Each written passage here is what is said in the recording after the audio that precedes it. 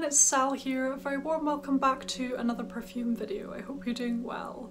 So today I'm going to be sharing with you my most intoxicating, beautiful, seductive fragrances appropriate for the springtime, although having said that, these could be worn all year round as well. If you are new to my channel then welcome. If you love everything to do with fragrances, I would absolutely love it if you would stick around and click the subscribe button below so you don't miss out on my future videos. I think as it stands right now, the last time I checked my analytics anyway, only around 30 to 40% of my viewers are subscribed, so please don't forget to click the subscribe button below. It really means an awful lot when you guys do that. So before we jump into today's video, as ever, get yourself comfortable, grab yourself a drink and a snack, Comment below your drink of choice. Today I have some wonderful coffee, which I'm going to try and drink before it goes cold because I don't know about you, but often I'll make a drink and I'll forget to drink it quick enough and then by the time I go to have a sip, it's ice cold. so let me tell you, I have some absolute treats to show you today. These are fantastic fragrances. They are very, very intoxicating, they're very feminine, they're really beautiful in my opinion, and I wanted to feature these ones in particular because I do think that they would be very appropriate for this time of year as well. So we're kind of right in the middle of spring now, moving towards summer, and I do think that these would be fantastic for a spring night, or to be honest, even a spring day, these would probably be appropriate for as well, because uh, in springtime sometimes the weather can be really quite mild. So without further ado, let's jump jump into today's video. First up today I want to show this absolute gem. This is Athalia from Parfum de Marly. This fragrance is absolutely mesmerising. I absolutely adore this fragrance. Something I find really intriguing about this scent is it actually, um, there's a lot to it. So when I first reviewed this on my channel, I've done a full dedicated review on Athalia. Um, when I watched that review back, I noticed that I actually had um, missed a lot of things out because at the time I only picked up on certain things about the fragrance and then as time passed and I got to know the scent even better I realised that there was actually an awful lot more to this fragrance than I first thought. So my first impression of this fragrance in my full review, I basically described it as a very powdery, kind of makeup compact, powder-like fragrance um, with some musky aspects to it as well, which it is, it's all of those things, but um, what I underestimated at the time was the power of the amber in here, the animalic qualities that this fragrance has, and also the incense. So this is a really rich, deep, um, seductive, thick, warm and alluring fragrance. It's just beautiful. The amber in here is really quite prominent in my opinion. The incense as well kind of plays peekaboo if I'm being honest, so I think maybe depending on the temperature um, or things like that, the incense can seem more prominent sometimes and then other times I just don't detect it at all because like I say, my first impression of this fragrance was very much, um, you know, that it was a powdery, cosmetic powder, slightly musky scent, um, and it was beautiful and feminine, things like that, but I didn't really pick up on the incense at that point. Um, so I think it's really interesting about this scent, it's so multi-layered. Um, sometimes you'll notice certain aspects of the scent profile and other times you won't pick up on them. So to me this is almost my shape-shifting fragrance. Sometimes you'll smell certain aspects of the scent profile and other times you just won't notice them at all and you'll notice some of the other aspects of the notes. So it's really interesting from that point of view. I believe the notes of this uh, fragrance, we have your iris, we have orange blossom, there's some bitter orange in the top notes I believe, there's the really rich amber note in the base, there's some musk, and you have your incense as well. I believe there may even be a tiny touch of vanilla in here. So it's really a beautiful, intriguing and mysterious fragrance. So upon smelling it today, what I really get is that amber, the kind of thick powdery accords going on in here. There's a slight sweetness and I'm getting some of that orange blossom as well. It's truly a beautiful fragrance.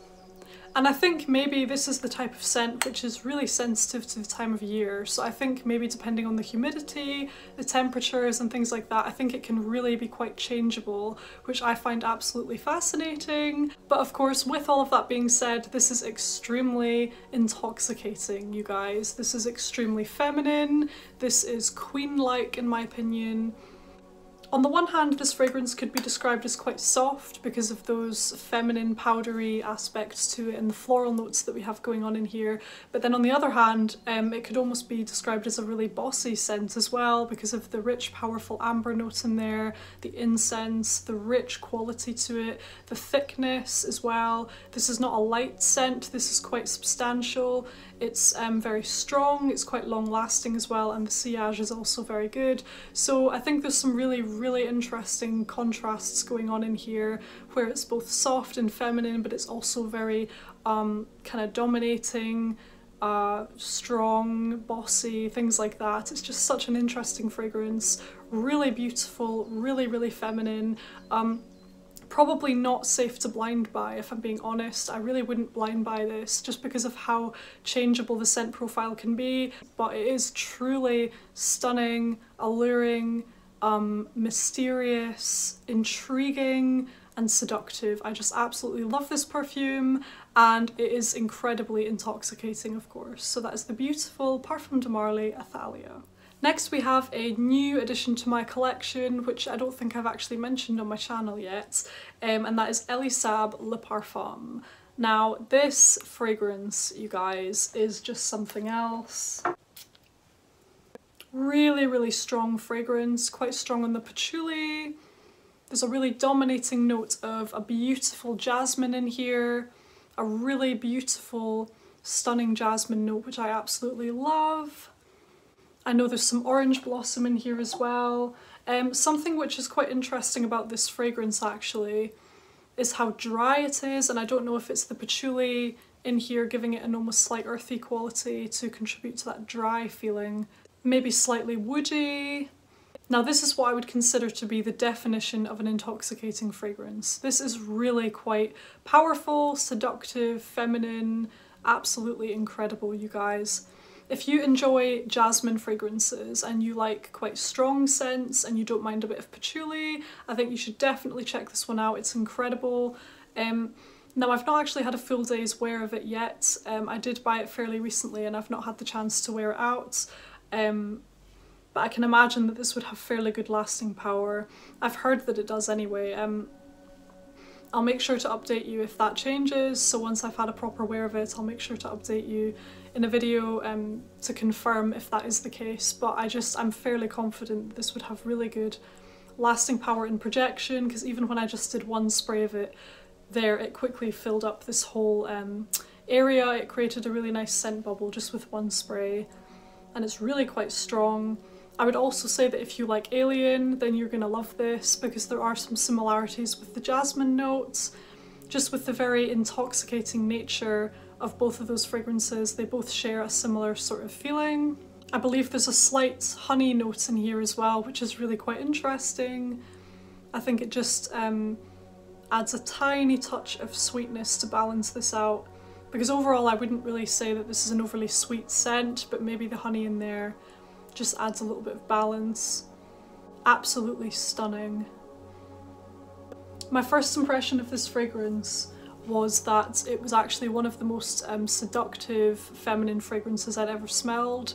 So it's truly incredible. I think the bottle is beautiful, just stunning to be honest. And I think this would be an ideal intoxicating scent for the springtime just because it's very floral. It's a very heavily floral scent and I think, you know, on a mild spring day or night when it's not actually that warm, you could easily get away with this fragrance for a date night or even during the day. I just think this is a fantastic, intoxicating fragrance for the spring. I can see this one perhaps being a bit too much for the summer, but definitely during the spring and every other time of year, I think this would be absolutely fantastic. So that is the beautiful, alluring um, Patchouli Jasmine Bomb Elie Saab Le Parfum. Next up today we have my beloved Mugler Aura. Now this fragrance is incredible.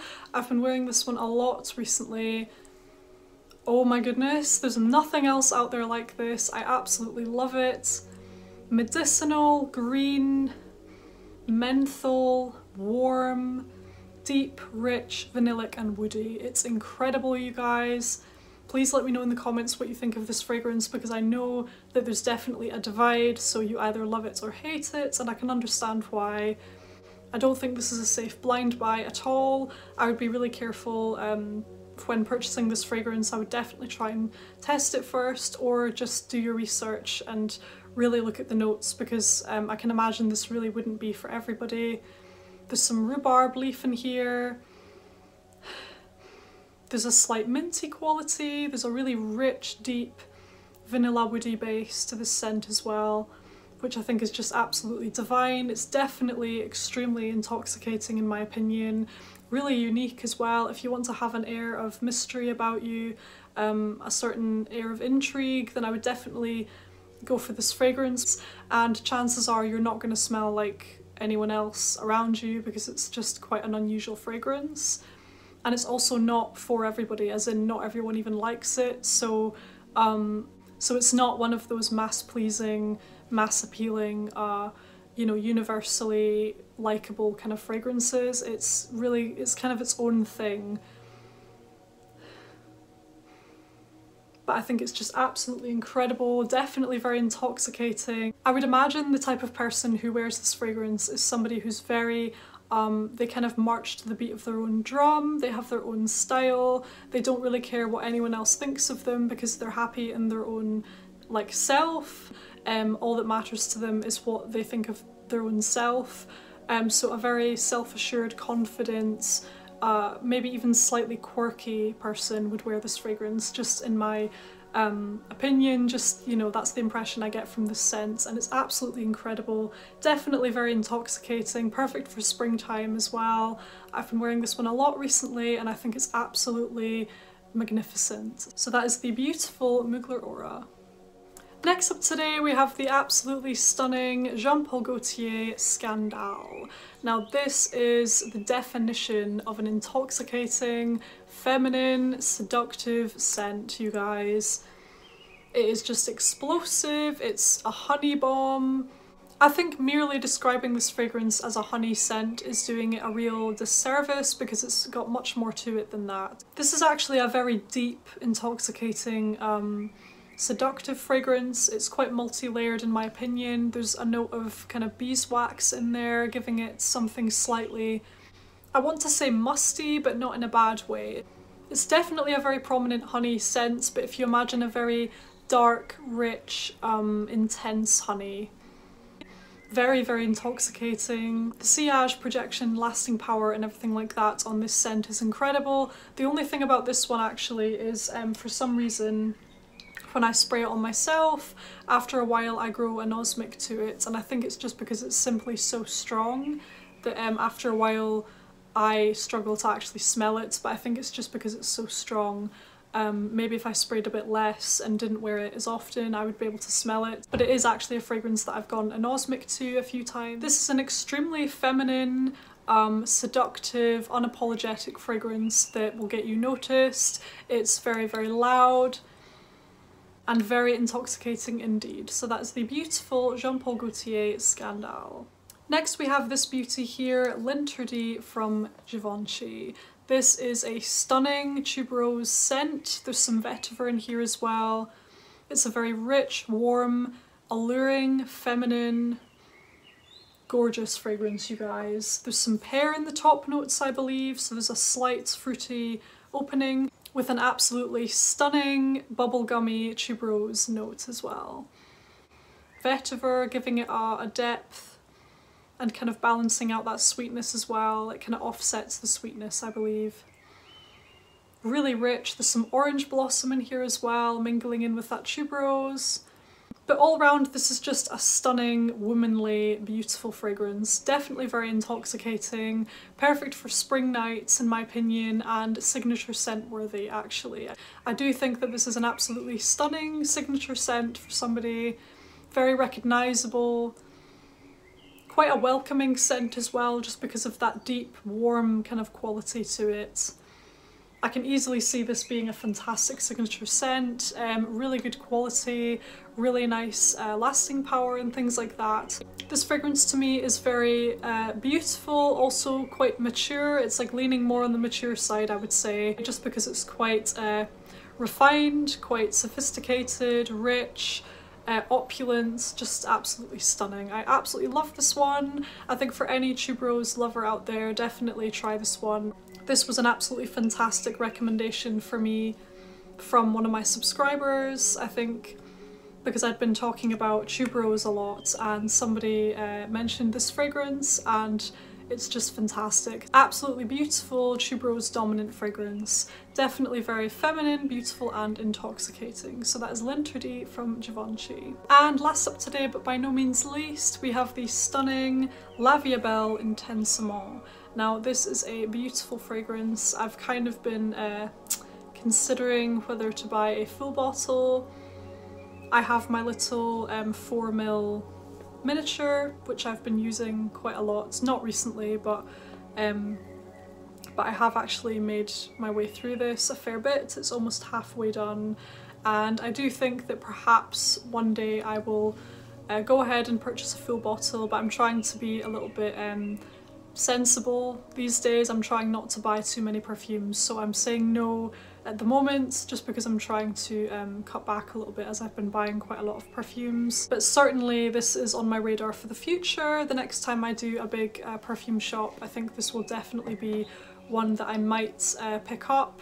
This is very creamy, it's slightly fruity with that raspberry note, um, it's vanillic. This fragrance is very sweet, as you would expect from a La Belle fragrance. It's very creamy, smooth, it's not quite as bright uh, or sharp as the original. This one is definitely smoothened out a fair bit. You have your iris in here, you have your raspberry notes, you have your vanillic notes. I believe there might be some benzoin vanilla in here as well. It's just all around a really creamy, uh, vanillic raspberry rich floral kind of scent and it's absolutely stunning definitely very intoxicating I would say all of the La Vie est Belles are fairly intoxicating fragrances and this one in particular would just be absolutely beautiful for the springtime I think perfect for a spring day or night to be honest just absolutely perfect. Versatile as well. I think this is a perfect all year round fragrance or for any occasion. The only thing I would say about this one actually is not to spray too much because I can imagine this one uh, quickly becoming slightly overpowering just because of how strong it is. It definitely still has that um, kind of uplifting La Vie est Belle DNA in there, but it's not as bright, it's not as sharp, like I say, it's smoothened out, it's more uh, well-rounded. I would say this one's actually better blended and um, it's just a stunning fragrance actually. Really beautiful, intoxicating scent for the springtime or all year round. So that is La Vie est Belle Intensement. There we have it, my intoxicating fragrances, perfect for the springtime, or like I say all year round, it's just because we are in spring at the moment and I wanted to pick fragrances which would be appropriate for this time of year. Please drop me a comment down below, let me know what you thought of my choices, let me know of any other perfumes you would recommend because you guys recommend absolutely fantastic fragrances for me. I've bought quite a few based on your recommendations so I always appreciate hearing uh, some perfume recommendations from you. If you enjoyed the video, please don't forget to give it a thumbs up and click the subscribe button below so you don't miss out on my weekly perfume videos. Thank you so much for watching, take care and I'll see you on the next one. Bye!